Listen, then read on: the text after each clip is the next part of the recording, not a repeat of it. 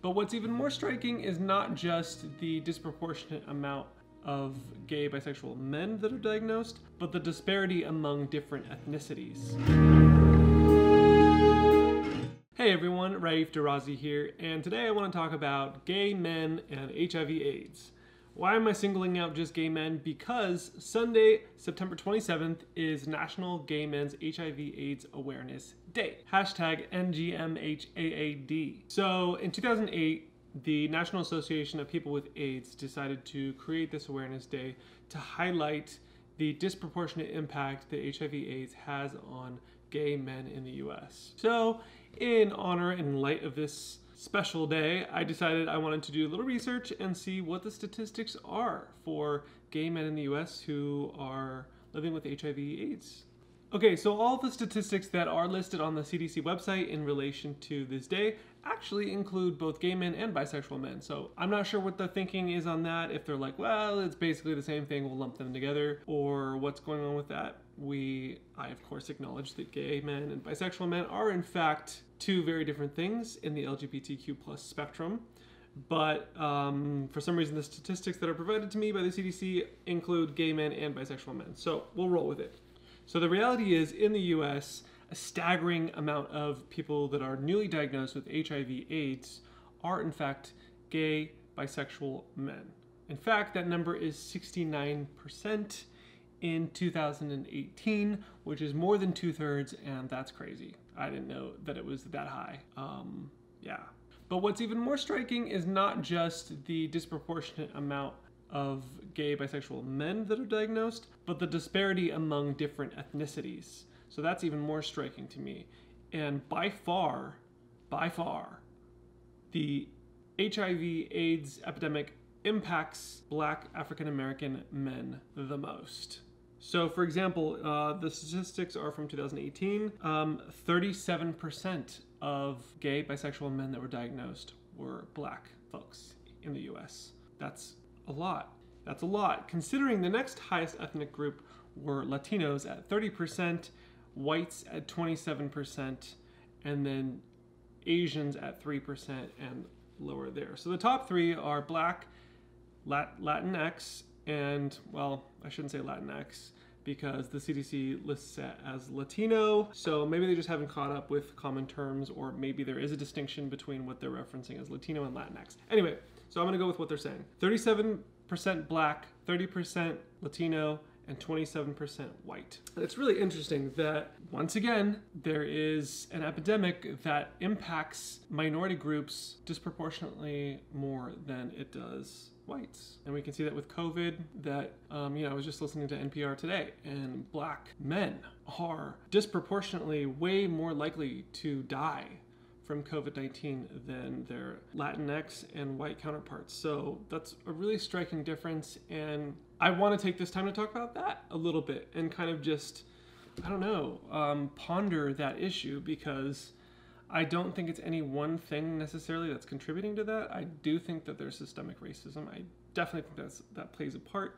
I think that there is community distrust in Black and Latino communities towards healthcare, especially if it's connected to the government at all. Um, especially with the Latino community, you could understand as it relates to um, immigration and being undocumented and the risks that may be there or not there, just the perceived risks, I guess is what I'm trying to say. And then with the black community, just the distrust of the US government, also healthcare. You know, I recently found out actually about the Tuskegee experiments that were done on black men in this country.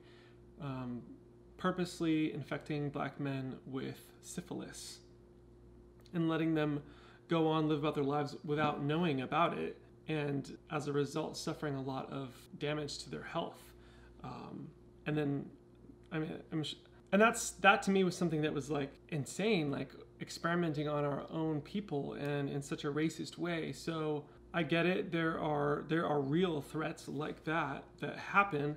And then there's the distrust of anything related to the US government because we don't have a great track record of ensuring that our black brothers and sisters are treated equally and protected from racism and discrimination. And that racism and discrimination appears even in the healthcare system. um, and people not getting equal treatment, whether that's unconscious bias or it's outright direct racism. It's a problem. And also, when people are suspicious, they're not going to want to go to a doctor or a healthcare clinic to get taken care of because they're suspicious. And so when people stay away, then that then that creates a huge problem when it comes to healthcare and if there's an epidemic going on. Not only that, but we all know, most of us, I hope we should all know, in the US that our healthcare system is essentially broken and prices are sky high, premiums are sky high, medication is unaffordable. It's just a giant flipping mess. When you take that into account and then you understand that there are a lot of minorities that are making less money than the average white person comparably, um, there's a disparity there in income. Income disparity is huge in the US and it's only increasing, it's only growing, especially with this pandemic. It's, that divide is only going to become more accentuated. Not having financial stability equals not being proactive in seeking healthcare and taking care of ourselves. So it's partly coming from the side of the government and healthcare, and then it's also coming from Black Latino communities um, not having the means, not having the ability, the, tr- the transportation to go there, um, the information, the financials to be able to afford healthcare, to get all coming together, creating this super shit storm of what we're seeing in our statistics, which is that so many more minorities are being diagnosed with HIV/AIDS, and that's really sad for our HIV positive gay and bisexual men in the US. And so we need more representation, we need more visibility for these minority groups because we know that when we see visibility, role models in media, in literature, that that affects the psyche in a positive way to be able to see yourself, to identify, to understand that you are worthy and you are a valuable part of our community. And we need to address those communities, especially now, and provide them with the resources and the help and the support. By the way, for those of you who supported me for uh, AIDS Walk LA, thank you so much. That's exactly what I was trying to do with that. I had a fundraising goal of $1,000. Uh, we ended up bringing in over 1800 which is amazing. That was my first fundraising experience. It was awesome.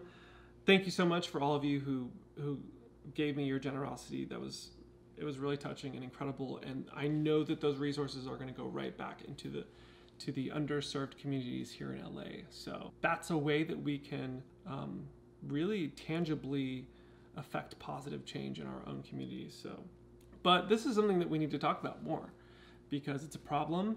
It's not okay. It can't be the status quo and it needs to be changed. It's only going to get worse.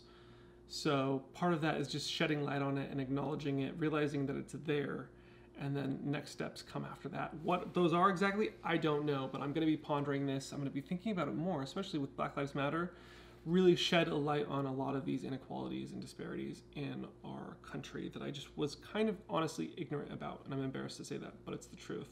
So it's our imperative to educate ourselves and to stay linked in with everything that's going on around us, as tough as that can be sometimes, because the anxiety of it all can be overwhelming and can be a burden. And so it's easy to fall into a rhythm where you just want to check out and go into escapism land and watch a good movie and TV and video games and all that jazz. But I think we can find a healthy balance where we stay tapped in, we do we do our due diligence, educate ourselves, um, affect positive change in our communities, vote, vote, vote, and also set time aside for our mental and emotional well-being.